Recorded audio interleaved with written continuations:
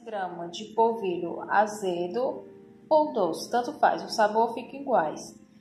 Uma colher de chá de sal, bem generosa.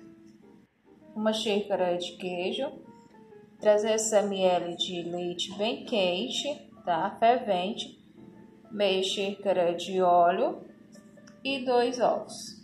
Vou colocar o sal junto do leite.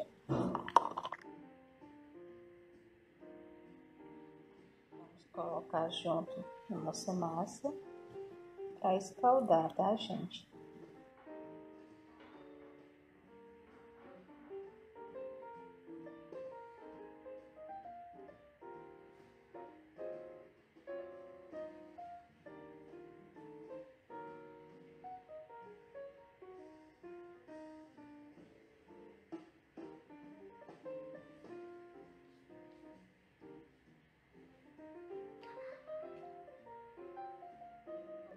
Acrescentar o queijo.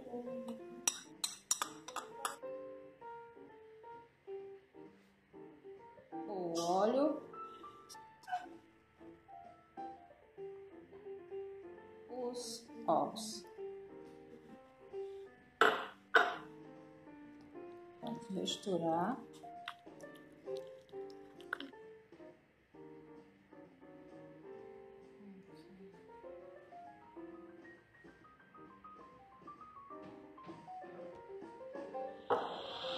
Olha o ponto, gente, é esse, tá? Como eu passei um pouco de óleo, tá? Pra não grudar. Agora vamos colocar na nossa forma. Isso.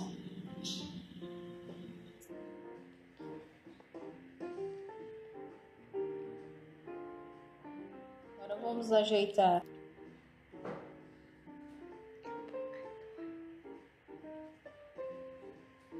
Vamos levar no forno a temperatura 220 graus aproximadamente de 15 a 25 minutos.